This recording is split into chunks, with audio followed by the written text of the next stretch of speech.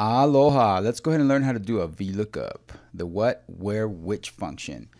So I'm looking up a last name and a current balance here based on an account number that we type in. So anytime we type in an account number, we want a VLOOKUP in the last name that looks up the last name for that account number and a VLOOKUP in the current balance that looks up the current balance for that account number. And that information is all located on another worksheet. In this case, it's called the Customers Worksheet. So let's go ahead and in our summary worksheet, the one you're looking at right now, and let's go ahead and get this all set up. So the first step, go to your source, the sheet containing the data that we're looking up. Put the marquee in the data, press Control A to select that range. Let's go up to the name box and give that range a name. So we now are going to have a defined name range. And we're typing in the name customers because that's what I want this range to be known as, the customers range. And now we go back to the other worksheet once we press enter and define the range. We put the marquee where we want the first VLOOKUP to take place, put in an equal sign, start typing in VLOOKUP. There's our VLOOKUP. The first argument is the lookup value. What are you looking up? So we select cell A2. We're looking up an account number. Whatever we put in A2, that's it. When you put in a comma, it wants to know where you're looking up that data.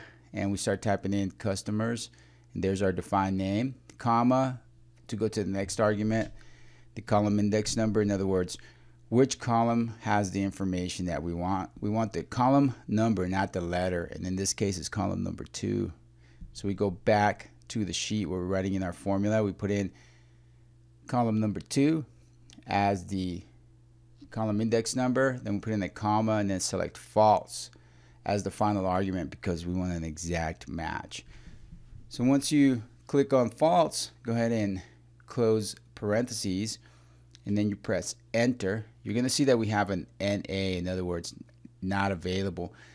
Well, there's no information available right now because we haven't given it an account number to look up. So now once we put in an account number and we enter, now it has something to look up and the NA is gone and it has found the last name that goes with that account number and pulled it from the other sheet. Now we're going to do a VLOOKUP to look up the current balance. So go ahead and select the cell where we want that VLOOKUP to go.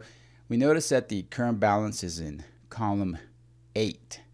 So let's go ahead and get back into our formula equals a VLOOKUP.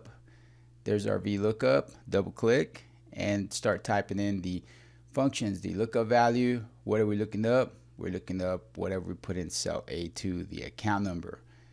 Comma, to move into the next argument, the table array, where is that information? So we start typing in the name of the defined name, customers, and there we see customers. So select that defined name. Now we put in another comma so that we move to the next argument, the column index number, which column is the piece of information that we want, and it's in column number 8. So we go right ahead and type in number 8. Then we put in a comma to move to the next argument. And we're going to tell the VLOOKUP that it is false. In other words, we want an exact match. Close parentheses, press enter. There you have it. So you got a VLOOKUP in the last name column, looking up last name, and one in the current balance, looking up current balance. Grab the autofill handle, copy the formula down. Now we've got all these NAs because we have nothing to look up yet. Every time we put in an account number, then the VLOOKUPs go into action and look up last name and current balance. You could leave it like that, but you know, let's go ahead and clean it up. We're pros. And we're going to make it so that that NA does not appear. We're going to fix that by nesting that function, the VLOOKUP, inside of an if NA. So if the result is NA, well then just leave it blank. That's what we're going to do. So we now we're going to go ahead and I'm going to clear all the account numbers and I'm going to edit the first function. So I select where the function is, press F2 to view my formula, and now I put my cursor right after the equal sign and I type in if. And here I see some if statements. These are logicals. I select the if NA that returns a value that I specify when the result is NA. And in this case, when the VLOOKUP is NA as a result, we'll then just leave it blank. So the first argument is the value, which is the VLOOKUP. And so at the end of the VLOOKUP, we're going to go ahead and put in a comma. And it's going to move us to what do we want to happen in the event that the VLOOKUP results in an NA. I want it to be blank instead of an A, so I put in a quote, quote, close parentheses, enter. Now I'm going to double click on the autofill handle of the marquee in the last name, cell B2, to copy the formula all the way down.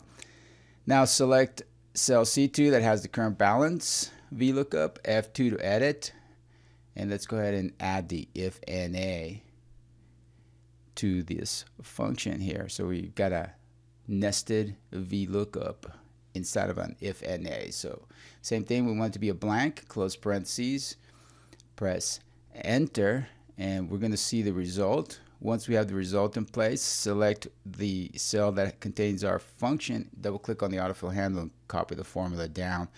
Now you see no more NAs, and whenever we type in the account number, we have the last name and the current balance that was looked up vertically in our source data.